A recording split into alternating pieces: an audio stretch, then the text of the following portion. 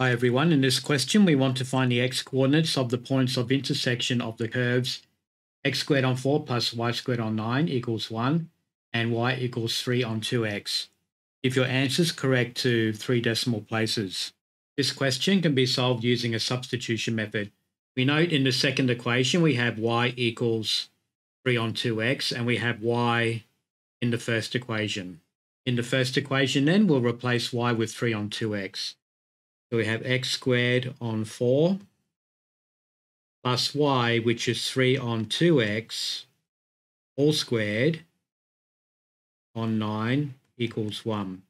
So now we've eliminated y.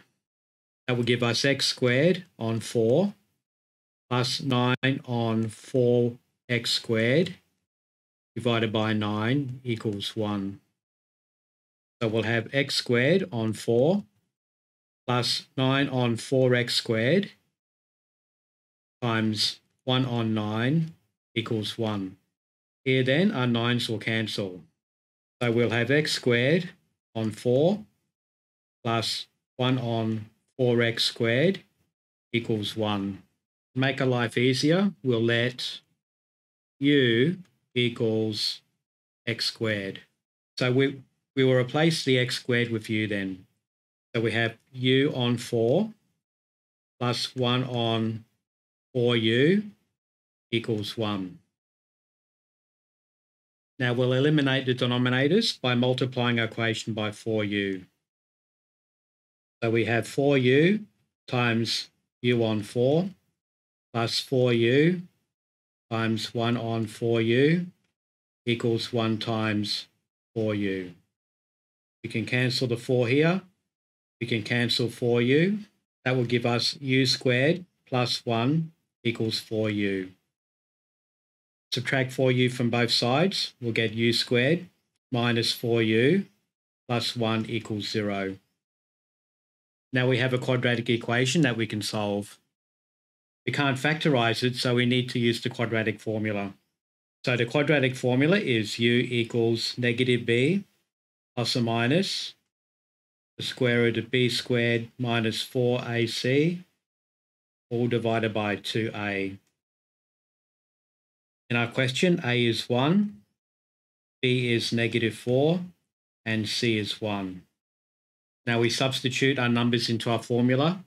We'll have u equals negative negative 4 plus or minus the square root of b squared, which is negative 4 squared, minus 4 times A times C, which are 1 each, divided by 2A, and A is 1, so that would be 2. Let's simplify a bit more. So U can be written as 4 plus or minus the square root of negative 4 squared is 16, minus 4 is 12, divided by 2. And that will simplify down to U equals 2 plus or minus root 3. If we go back to our original substitution, u equals x squared, that means we can replace u with x squared. So we have x squared equals 2 plus or minus root 3. This will give us x squared equals 2 plus root 3 and x squared equals 2 minus root 3. If we take the square root of both sides, x will be equal to plus or minus the square root of 2 plus root 3. And in this case, x will be equal to square root 2 minus root 3. In this case, x will be equal to plus or minus 1.932.